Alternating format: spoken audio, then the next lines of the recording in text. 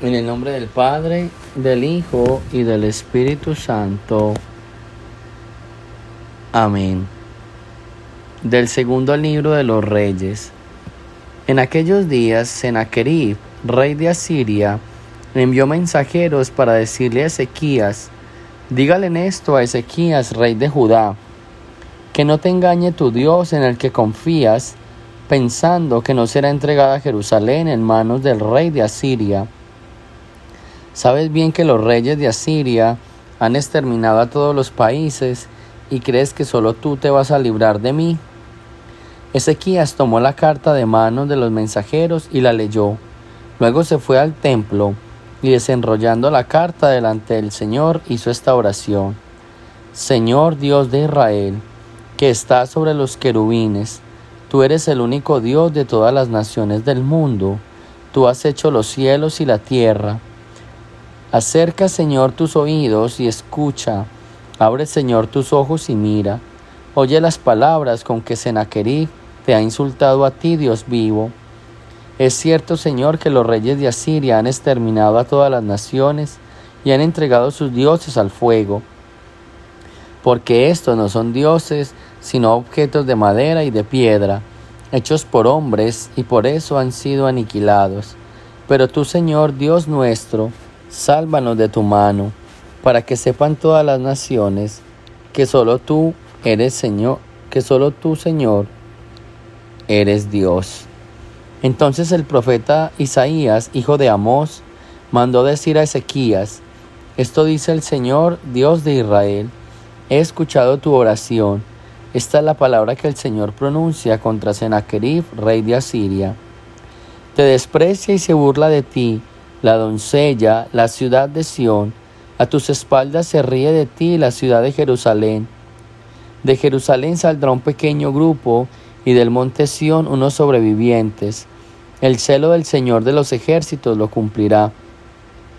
Por eso esto dice el Señor contra el rey de Asiria. No entrará en esta ciudad, no lanzará sus flechas contra ella, no se le acercará con escudos, ni levantará terraplenes frente a ellos. Por el camino por donde vino se volverá. No entrará en esta ciudad, lo dice el Señor. Lo protegeré y lo salvaré, por ser quien soy y por David mi siervo. Aquella misma noche salió el ángel del Señor e hirió a ciento ochenta y cinco mil hombres en el campamento asirio. Por la mañana, al contemplar los cadáveres, Sennacherib, rey de Asiria, levantó su campamento y regresó a Nínive. Palabra de Dios. Del Evangelio según San Mateo. En aquel tiempo Jesús dijo a sus discípulos, No den a los perros las cosas santas, ni echen sus perlas a los cerdos, no sea que los pisoteen y después se vuelvan contra ustedes y los despedacen. Traten a los demás como quieren que ellos los traten a ustedes. En esto se resume la ley y los profetas. Entren por la puerta estrecha, porque ancha es la puerta y amplio el camino que conduce a la perdición, y son muchos los que entran por él. Pero qué estrecha es la puerta y qué angosto el camino que conduce a la vida, y qué pocos son los que lo encuentran. Palabra del Señor.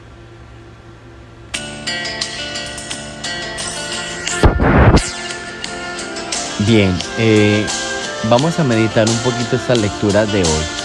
De la primera lectura podemos aprender algo, y es que Asiria quería entrar y quería apoderarse de Israel. Asiria era un pueblo bien fuerte con el rey Sennacherib, que ya había invadido otros terrenos y que obviamente se creía muy autosuficiente, obviamente se creía porque era fuerte y había invadido otros terrenos. Pero una enseñanza bien importante en esta primera lectura es, nunca te creas más, más que los demás, más que lo que eres. O sea, los actos de humildad también son importantes en la vida, porque muchas veces nos creemos mucho. Y entonces eh, a mí me parece que un acto muy humano es sentir miedo, es sentir nervios. Eso es un acto muy humano. Una vez alguien me decía, ¿Cómo hacer para quitar el susto de leer en público en la Eucaristía? Yo le decía, no le pida eso a Dios. Es un acto muy humano sentir miedo. Eso va a hablar mucho de usted, le decía yo a la persona. Entonces, la primera lectura nos enseña a no creernos seguros de sí mismo. Siempre coloquemos en duda las cosas o al menos coloquemos como, como eso de, de, bueno, yo voy a hacer esto, yo soy bueno para hacerlo, pero voy a intentarlo, puede que me quede bien, como puede que no. Que no siempre sea como en esa arrogancia y ese orgullo, ah, no, es que como yo hago esto, ninguno lo hace, como yo nadie. Deje que los demás lo digan de usted, pero uno mismo no queda bien. Y entonces el rey de Asiria dijo, ustedes creen que se van a salvar si yo ya destrozaba muchas. Y esa noche perdieron. Entonces primera enseñanza, nunca te creas más que los demás. Nunca pienses que porque ya sabes hacer algo, entonces eres el mejor y que nadie te puede superar. No, deja que los demás reconozcan tus talentos, tus carismas pero que no sea tú mismo el que lo hagas. ¿Ok? Y en el Evangelio podemos aprender tres cosas bien importantes.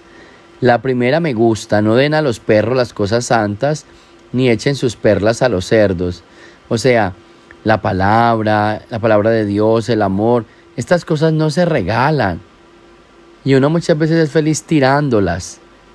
No las tiren a los perros, o sea, no le den cosas a las personas que no le van a aprovechar que no van a saber valorar. Y aquí vuelvo a hablar del tema del amor, la amistad. Son sentimientos bien bonitos que no podemos tirar a la basura, a personas que no se lo merecen, a personas que no van a valorar, a personas que no van a tratarnos como de acuerdo a todo lo que estamos haciendo por ellos. ¿Sí? No le echen, no le echen a los perros las cosas santas. O sea, no tiren las cosas sagradas a alguien que no va a valorar, que las va a menospreciar. A veces nosotros somos felices, no, a ver, démosle, insistámosle, ¿no? Si no va a valorar las cosas, no porque va a maltratar, porque va a tratar mal las cosas santas y las cosas buenas. Entonces, el Señor nos dice en esta palabra, no, no desperdiciemos las cosas y especialmente no las tiremos a, a, personas, a situaciones o a lugares que no van a darle ese valor, que no van a darle ese provecho que se merece. Y frente a eso dice, Vuelve y juega, traten a los demás como quieren que ellos los traten a ustedes. ¿sí? Es bien importante cuando pienses en el trato de los demás, piensa en que así nos van a tratar a nosotros. Ayer decíamos, con la misma vara con que midieres, serás medido. Hoy viene el Señor a decirnos, traten a los demás como quieren que los traten a ustedes. Trátenlos con amor si quieren que sean tratados con amor.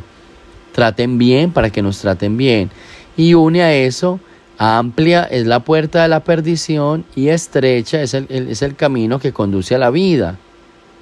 A mí me parece que cuando el Señor habla de estrecho es el camino, yo hablo de, la aceptación de los demás. O sea, de tratar bien a los demás y aceptar a los demás es un camino bien estrecho. ¿Por qué? Porque a uno le duele o sea, uno no es capaz de tratar bien a los demás, porque uno siempre está mirando sus defectos, porque uno está pendiente como de, sí, de todo lo malo que hace. Entonces, cuando uno realmente acepta al otro, cuando uno realmente aprende a caminar, sí, con los sentimientos del otro, con el pensamiento del otro, es una puerta muy estrecha, porque el otro piensa diferente a mí, actúa diferente a mí, es diferente a mí. Esa es la puerta estrecha y es bien angosta y es dolorosa, porque uno quiere es que el otro se acomode a mí. Y entonces cuando yo juzgo, la puerta es ancha, porque es bien fácil juzgar, esto es malo, esto no se hace, usted no puede hacer esto, usted se va a condenar por esto, el Señor no lo quiere por esto. Esa puerta como es, ancha, pero venga yo te escucho, venga yo te ayudo, venga yo miro a ver qué puedo hacer por ti, venga, hagamos una oración juntos, venga, yo te abrazo, no te preocupes, yo te acepto. Esa puerta como es? Angosta, porque es bien dolorosa, porque es la puerta donde tenemos que quizás cerrar nuestros ojos, tapar nuestros oídos y convivir con alguien que, que nos cuesta, que nos duele, su manera de ser, su manera de pensar, su conducta. Eso, eso duele. Entonces, estas realidades van a ser bien difíciles, ¿Sí? Entonces conectemos toda la palabra de Dios. Número uno, no nos creamos mucho. Aprendamos a ser humildes. Y aunque tú tengas una destreza que es muy importante, y aunque tú hagas algo supremamente bien, permite que los demás te elogien. Permite que sean los demás los que te alaben, los que te aplauden, que no seas tú mismo, porque no queda bien, es de arrogantes autoalabarse, ¿sí? Y autocreerse en los mejores, eso es de arrogantes.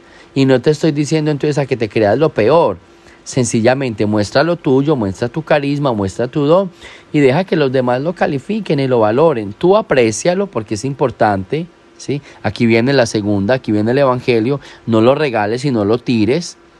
No te creas el mejor, pero tampoco es para regalar ni para tirarlo. ¿sí? Es para que lo luchen y para que lo sufran, o sea, lo sudan. Vale. Yo no soy la, la mejor persona para hacer tal cosa, pero tampoco voy a regalar mi trabajo. ¿Sí ven la diferencia? ¿Listo? Lo que nos han enseñado mucho, mansos pero no mensos. Y tratemos a los demás de la mejor manera, pensando en que así me van a tratar a mí. Y ese tratar a los demás bien es la puerta angosta, porque es la puerta de la aceptación, es la puerta del perdón, es la puerta de la misericordia, esa es la puerta del sufrimiento, esa es la puerta estrecha, porque en esa puerta hay mucho que aprender, hay mucho que estudiar, hay mucho que aceptar, hay mucho que soportar. ¿sí? Hay mucho que caminar con el otro. En cambio, la puerta ancha, la del juicio, la puerta ancha, la de la crítica, no lo hagas, no lo hagas, aunque sea verdad. Salte de, de ese círculo, salte de esa manera. Así que en este día, que el Señor nos regale una capacidad para ser humildes, y aunque lo hagamos bien, alguna destreza, dejamos que los demás nos aplaudan. Mas sin embargo, no lo regalamos también hay que saberlo valorar y apreciar y al que no lo quiera no le damos nada. No le demostramos ese talento, no le compartimos ese don. Y al mismo tiempo tratamos bien a los demás y ese tratar bien es esa puerta estrecha que nos duele porque el otro puede hacer cosas que yo no las aguanto o que no son buenas para mí, pero que lo voy a aceptar y lo trato bien pensando en que a mi Dios también me va a tratar bien, aunque yo haga actos que de pronto a Él no le parezcan los mejores, todo pensando en que yo también quiero ser tratado con amor y con respeto. Así que en el día de hoy pídele humildad al Señor, valora tu carisma, valora tu talento, valora tus habilidades, aprende a aceptar a los demás y camina por esa puerta estrecha de la aceptación, del soporte, del amor, de la misericordia, para que te encuentres con Dios. Amén. El Señor esté con ustedes y la bendición de Dios Todopoderoso, Padre, Hijo y Espíritu Santo, descienda sobre ustedes y me los acompañe siempre. Feliz y santo día para todos.